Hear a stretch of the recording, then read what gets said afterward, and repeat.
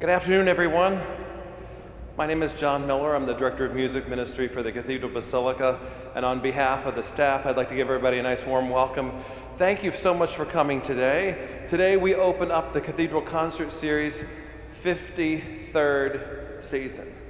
Now, I know there is a fine gentleman bishop over here who was here at the first year's season, and he could tell us more about that if we want to pick his brain and talk afterwards.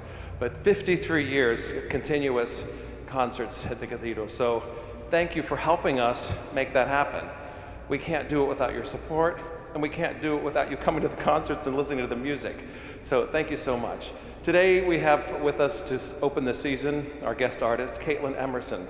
Wonderful organist playing lots of rarely heard organ pieces, so that'll be a treat for us today.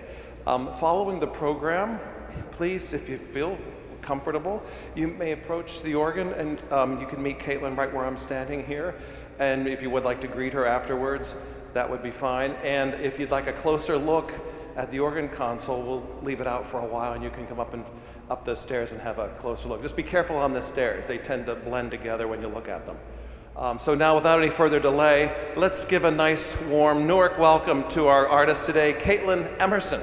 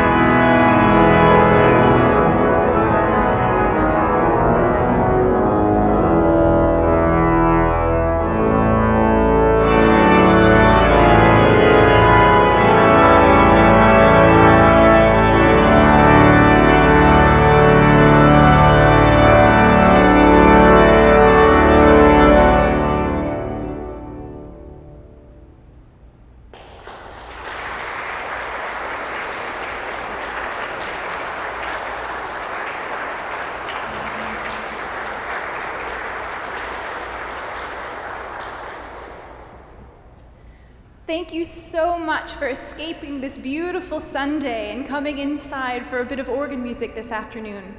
It's such a privilege to be here with you on a gorgeous day in a glorious space with a spectacular instrument and with some of my very favorite music. This program is loosely all tied together through song and dance, which of course are some of our very favorite things as human beings. So of course we've just heard the wonderful St. Anne hymn tune, O God Our Help in Ages Past, which is an English post-Reformation piece. Next we're going to travel to the Netherlands to hear a piece by the wonderful Orpheus of Amsterdam, Jan Pieters van Sweelinck.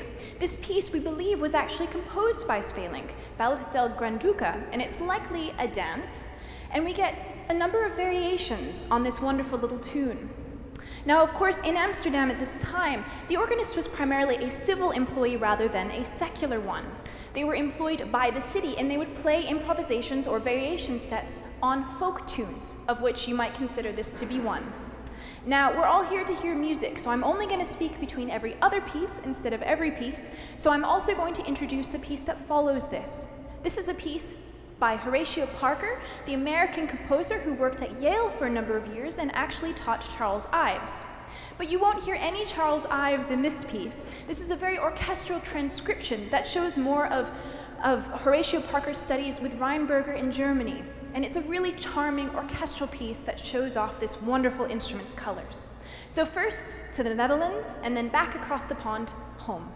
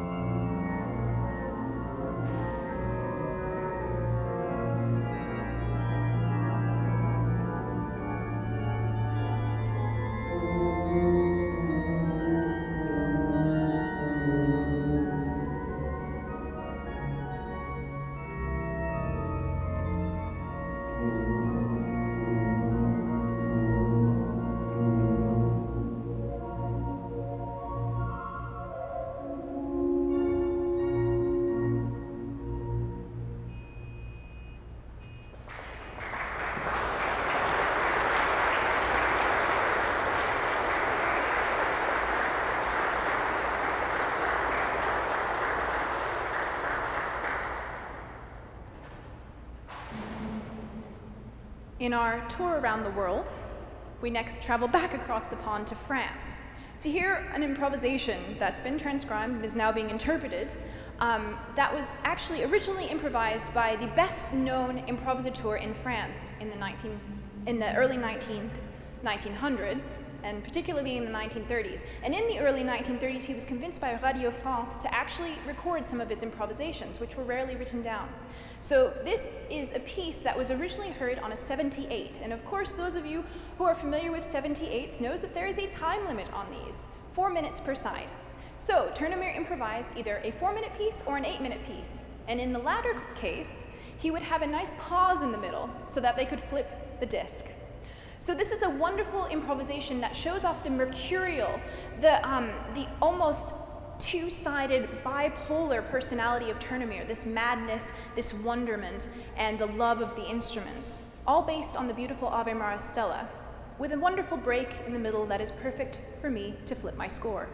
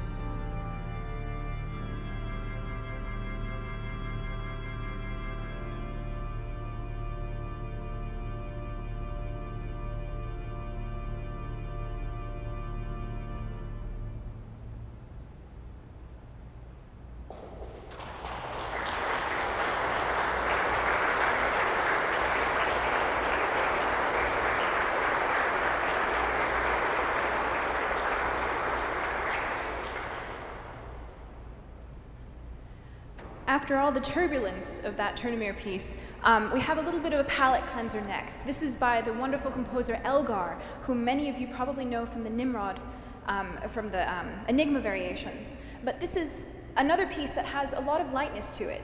It was, in fact, a piece that you wouldn't quite believe was written in order to make money.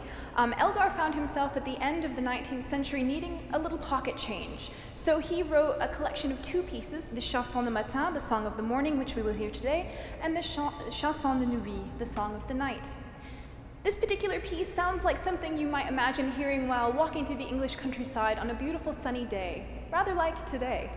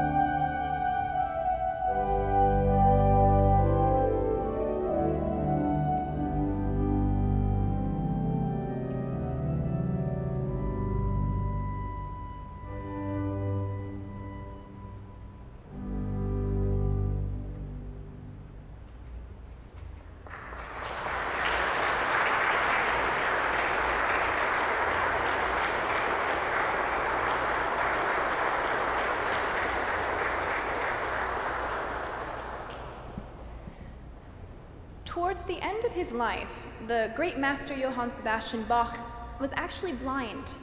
Um, this next piece takes the inspiration of the fact that we believe that Bach regained his sight just before he passed away. It starts and continues actually very meditatively as a piece, rather allowing us to join in the tranquility of somebody who has achieved so much in their lives and who will live on long after they have passed on. Over this wonderful meditative quality, we begin to detect a melody, a melody that is also featured in the final piece, the Wie schön leuchtet der Morgenstern, How Brightly Shines the Morning Star. I'll leave it to you to decide what this means in the context of a piece about the end of life and the great master Bach, but I hope that you will find this piece very, very meditative as we enter the very final piece, which starts really very dark as a piece. This was the very end of the 19th century in Germany, and this particular composer was reading off of the, um, the darkness that was happening in Germany at the time. It starts very deep in the organ and it has a lot of angst going on. This creates a kind of climax until, out of the smallest, the most quiet stops of the organ, we hear the tune of Wie schön leuchtet, How Brightly Shines the Morning Star. And of course, in the manner of all great German fantasies and fugues, we have a great fugue that comes at the very end. So I hope that you'll enjoy these two pieces that both take inspiration from the melody and from the text of How Brightly Shines the Morning Star, and find comfort in the colors of this instrument and in the writing of these two composers from such very different parts of the world, Australia and Germany.